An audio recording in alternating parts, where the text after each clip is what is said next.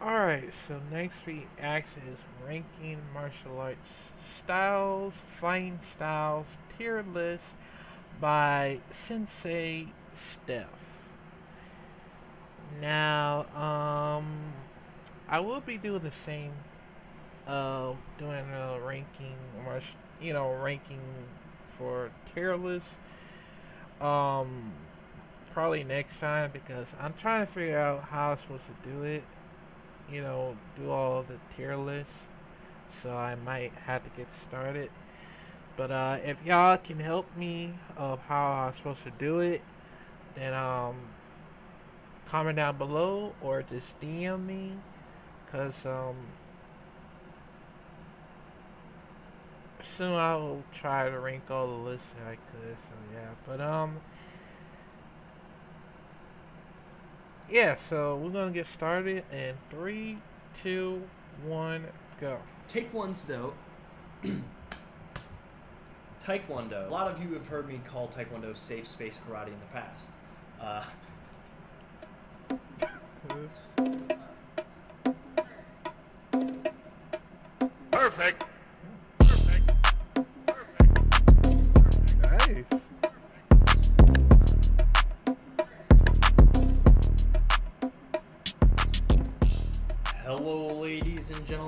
welcome back to the second installment of Tier Lists in Martial Arts. Uh, in this episode, I will be getting myself inevitably in trouble uh, because you guys asked me to. Thanks for that, appreciate that. In this episode, I will be breaking down and ranking the most popular martial arts styles. Uh, does this mean I will get in trouble because somebody's going to dislike what I say? Uh, yes. Uh, is this something that you guys asked me to do, thus leaving me no choice? A little bit. But with that being said, I'm going to be as honest as possible and also keep in mind that you can take anything from any of these martial arts styles. A lot of them you can add together and create an amazing style of its own. I think there are some styles that you can take more away from than you can with other styles. So none of this means that these styles suck completely except for Taekwondo. None of them. with my personality, I'm going to joke and pick on some styles. So if there's something here that upsets you, make sure you comment and uh, get really upset with me below, and we'll have a rational conversation about it later. Like I said, we're going to be ranking these martial arts styles right here.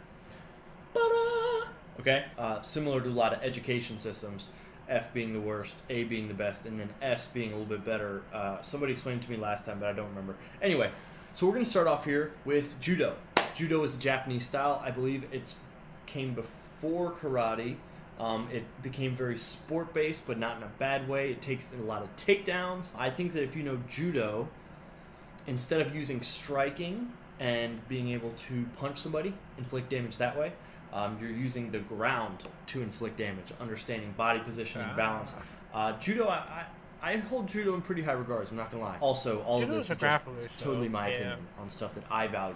So, I apologize if this hurts anybody's feelings.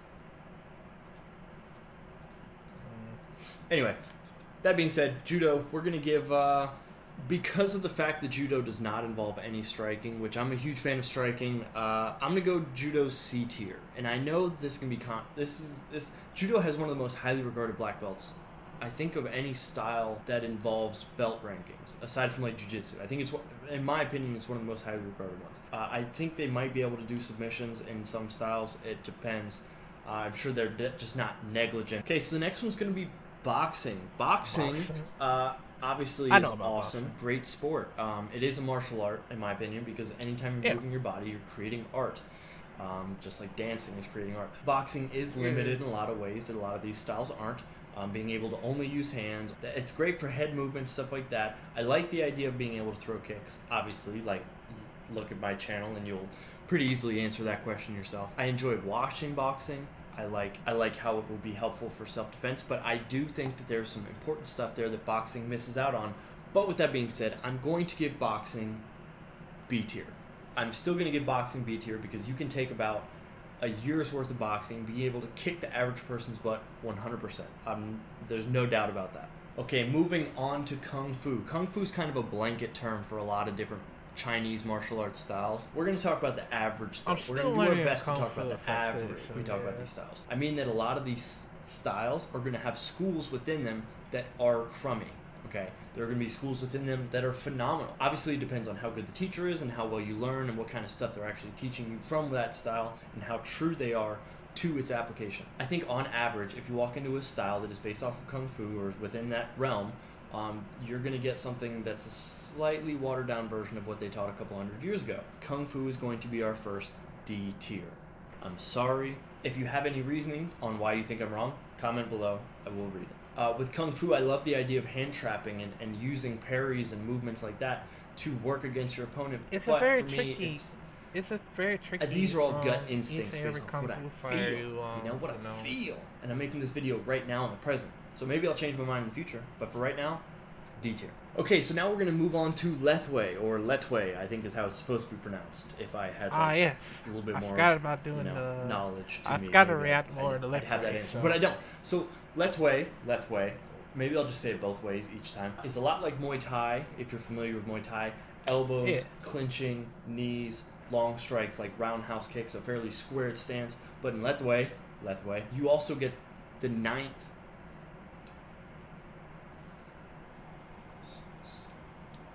The ninth limb, which is Oh. your noggin, your dome piece gets to smack people around. I think this is a ruthless style. Um, Dave Leduc has recently made this popular, probably the forerunner of uh, kind of bringing popularity or bringing, making Lethwei a more, I'm not going to say a household name, but a more martial arts household name. I didn't know about it until I heard about him, not to lie. But after having watched it, uh, I'm not a fan of watching it because, like, once it comes down to just real nasty, ruthless brutalness, uh, I'm not a big fan. I don't like watching bare knuckle boxing for the same reason. But we're gonna go A tier.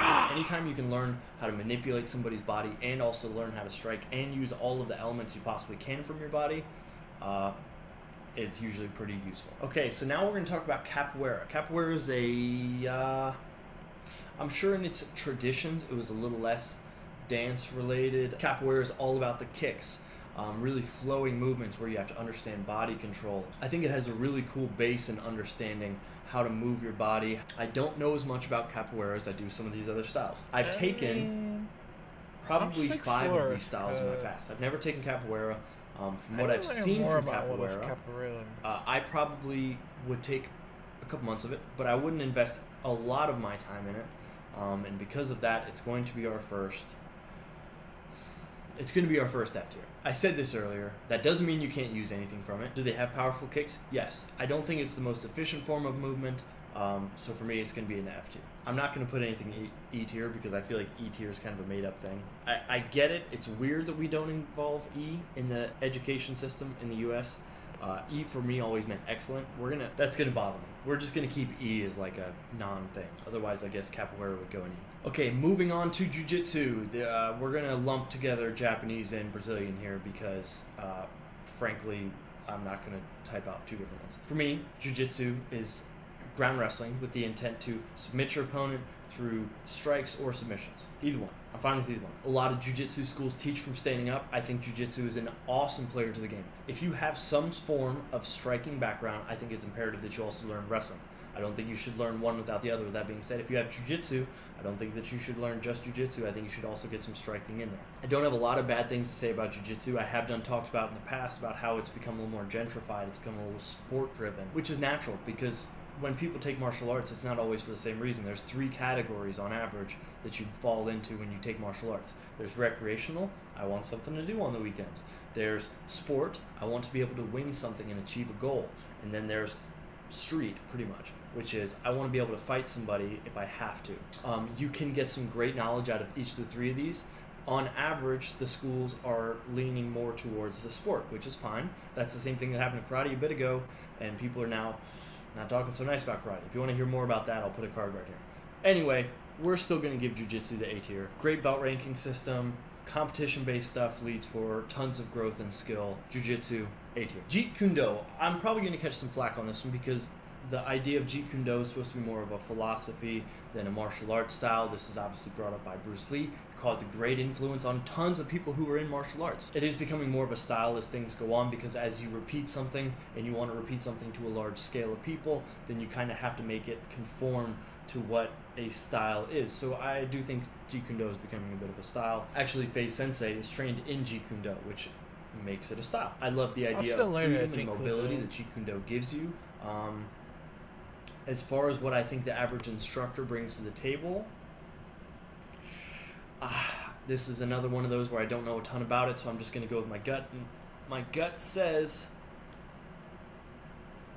I like the freedom, I like the mobility, I like the the concepts of it. I'm gonna give Jeet Kune Do C tier, and that's because of the ability for you to conform things and make them work for you, rather than being a sturdy, consistent system in itself. Surely you would have known at some point this was gonna come up. Karate. My whole brain is Sensei Seth. Like I am a karate teacher. You know, teaching kids karate is one of my favorite things to do on this planet. So obviously I'm gonna be a little bit biased towards this one, right? Yeah.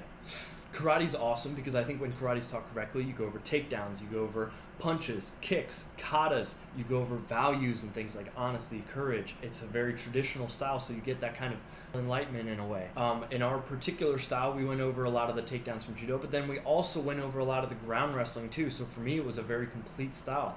And I, in my opinion, as long as you spar, I think that you can take away from any of these styles as long as you're actively pressure testing it and making sure that it works for you. With that being said, I know we said we'd go based off of the average, and unfortunately, the average of karate right now isn't what it used to be. Like I mentioned, due to the idea of mass scaling and wanting to be able to teach as many people as possible, in order to do that, you kind of have to cut down the details a little bit and make it work for more people rather than being able to one on one teach somebody, which is the most effective way to teach martial arts. Um, karate is you know, it's a it's C tier for now. We're gonna get there, and it's gonna be because of this channel and other channels Uh, like Jesse's and Karate Culture and Wonder Boys, and we're going to bring. We will make karate amazing again. Don't worry. We'll bring. We're coming back. We're coming back. Okay, next let's move on to wrestling. And no, I'm not talking about WWE. We're talking about mm-hmm. pin somebody to the floor, try and score points over a couple minutes round. Wrestling is probably the most popular out of people who do it right now out of all these. Because if you take into account all the kids in high school that are doing it and if you think about it it's what we wanted for karate. We wanted to be able to put karate into the school system to make the average person more adapted towards defending themselves. Now wrestling used to have submissions in it. Uh, it doesn't now. It's become a little bit more safe because we want kids to be able to practice it in high school. Uh, i think that once again, we talk about boxing, where if you put this person in this program for a year, they should be able to kick the average person's butt. And I, I think that holds true to wrestling too. But with that being said, it's the counterpart to boxing. Taking away the ability to strike takes a lot away from the style itself. Most wrestlers do move on to do MMA and things like that, so it does add more to it. We are going to give wrestling the same ranking as boxing here, though. Uh, I think they're very similar. They're usually grouped into the same conversation because they are so stylistically dependent on one thing, um, but also very useful at the same time. We talked about being dependent on one thing. Now let's talk about being dependent on self defense. We talked about the three different things the recreation, the sport, the self defense. This is something that prides itself on being strictly a self defense art. On average, I think Krav Maga has a name that is uh, becoming more closely associated with stuff like karate, that people usually look down on a little bit more. And I think that's strictly because of when you see something online, you see somebody applying a technique to a standing opponent. The reason that people like the validity of things like Muay Thai and Judo and Jiu Jitsu and stuff like that is because you see it in sport that resembles the actual style so similarly that, that it gives you confidence that it works. Uh, when it some, comes to stuff like Krav Maga, you don't see a lot of sparring. I'm sure some do, but because you don't see it in action that often, it's kind of hard to believe if it's true. And especially in an age where we're filled with the with the capability of sharing stuff to the internet. There's great Krav instructors like Ryan Hoover out there who are, you know, obviously showing great stuff. If you haven't followed him at Aperture, make sure you do. Don't tell him though that I complimented him. Ryan, if you're watching this, it's whatever, you know. Krav Krav's okay, I guess. But the uh, the idea we talked about the average, and I'm gonna put Krav Maga on the same average as karate. I think there are too many people who are trying to teach a scaled version of the martial art, which kind of brings down the average. One of the martial arts styles on the list of things that I've done in the past, uh, or actually am currently doing right now, is Muay Thai. Muay Thai, I've been really trying to dive into Muay Thai a little bit more recently. Uh, a lot of the training that I do is partner to partner, but a lot of the stuff that I've been doing has been sparring with people who are trained in Muay Thai and trying to pick up things as I go. Oh, Um, yeah, I I teach karate Muay in a Thai Muay Thai well. facility uh, through people that I'm good friends with now at this point. So I really get to be embraced in, in some of the stuff that they do. I think Muay Thai is awesome. Uh, like I mentioned, the sport behind it is so closely similar to how they train and how they practice, which superiorly elevates the game. Muay Thai is awesome, lots of clinch work, lots of body manipulation of your opponent, knees and elbows, things that are not usually regulate. Uh, Muay Thai, I'm a huge fan of. It promotes toughness. Uh, the squared style is not my favorite. I like to be able to fight at a longer distance, but that doesn't mean it's not useful. Muay Thai, though, has my respect 100%. Not that these other ones don't. I guess I probably shouldn't have said that. Anyway, Muay Thai, A tier. I put it the same level as Letway, Lethwei, and and Jiu-Jitsu. So we have two left here. Um, one of them gets a lot of flack in the martial arts community, and the other one also gets a lot of flack in the martial arts community. Uh, one of these I have actually taken in the past for a short period of time, and that is Taekwondo. Uh, Taekwondo. Taekwondo. A lot of you have heard me call Taekwondo safe space karate in the past. Uh, Nicely done. Three, four, five, six. He got several points there. The blue player did excellent as well. Uh, taekwondo is awesome for a lot of different reasons. Uh, however, doing, uh, the average Taekwondo taekwondo, school well, so, now yeah. is promoting forms, which is great. I, I've talked about it, why I like katas in the past, kicks, and light spark. Because of this, it allows people to get their belt rank much faster, which ends up to the three-year black belts. Um, I'm not super big of a fan of any system that is like, hey, if you pay for the whole thing right now, we'll guarantee that you get your black belt eventually. I think a lot of the schools that are McDojos and money grabbers come from that Taekwondo background because you can so easily promise uh, progression and quick progression at that. And I don't think any martial arts style should be here, real quick, here's how you get good at fighting. With that being said, it is great when you are focused on something that you want to be sport based and even recreation based.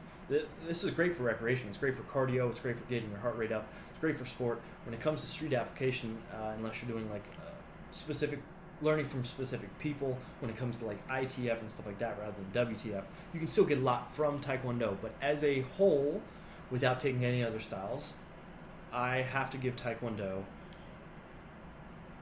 D tier. Uh, there's a lot of my kicks that I wouldn't be able to throw as well as I do now if it wasn't for Taekwondo, but it's not enough for me to give it a C tier or higher. Which leads us to Aikido. The reason I put Aikido last is because I've never done Aikido. Um, it gets probably the most hate in the community right now, and it's due to stuff like Steven Seagal. There have been people who come out from the Aikido community who have been like pressure testing it and trying it, and, and what happens is you realize that you have to change some things. But I'd also be willing to bet those people who changed things coming from Aikido also had a lot of things that they took from Aikido. With that being said, I think uh, based on the ability for the average person who comes out of Aikido to be able to defend themselves and fight uh, and feel equipped with good reason to be able to fight somebody on the street, uh, uh, uh, uh, I'm gonna go with my gut here and give Aikido an F. That doesn't mean that it's bad, but out of the list of these, I think there's just different levels. Uh, and what you're probably noticing here is that I didn't give anything an S tier. And your first thought might be that the best style is something that has no style, that is a conglomeration of everything that you find here. Um, and you could argue that that's true. You might be thinking it's because I think that none of these have hit their their peak capabilities. That you should always be evolving, and you should always be adding. Um, and you could argue that too. But in all actuality, the only reason that I haven't put anything here at S tier is because there's only one true thing that works in all scenarios. It is Ameri-Do-Te. It is the style of all styles. I was lucky enough to train with Master Ken a while ago, and let me tell you, it really opened my eyes to what works. Oh. I mean, you've got the Hurricane, you've got the Ugly Face. I feel like that's not right, but it also seems a little right. I mean, what other belt style has an 11th degree black belt? It What just- a Mary Dote. also, I've heard that people in Ameri-Do-Te can grow better Can somebody mustaches. Uh, I wanted to bring in a Mer- specialist on Ameri-Do-Te to make sure you guys understand why Ameri-Do-Te is the only S tier. So, without further ado, Master Ken, let him know. Oh. I'm Master Ken. And remember, it's not Ameri-Do-Te. It's F tier. Oh. Now get the F out of tier.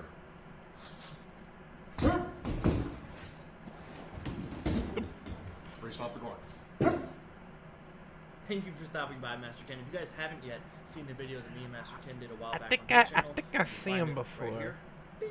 Also, he recently started a Cameo account to bless you guys with personalized messages from Master Ken himself to you to help you figure out how to use Ameri-Do-Te to be your best self. You can find him there. I'll put the link below. Please keep in mind that out of all of the things on this list, you can take something away from each of these different martial arts styles and add them to your own journey. Personally, I hope that I get a chance to work on all of this stuff throughout my lifetime, and maybe I can document it and put it on here. Don't take this as an opportunity to bash any of these styles, but instead I implore you to take this as an opportunity to see where your holes are and figure out how you can fill them in best. Uh, make sure you like, turn on the notifications, and until next time, if you don't subscribe, I will punch you until you throw sidekicks.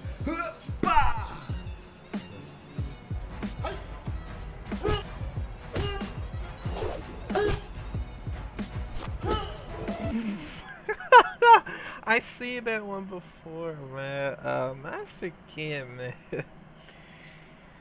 now I understand what a Ameri-Do-Te is, man. Because, you know, kicking somebody in the nuts. oh, man. That, that was a good time, man. I'll, I'll react to that one next time. Because, um, you know, it, uh, along with uh, Sensei uh, stuff, I will react other of of the tier list from Sensei's uh, stuff,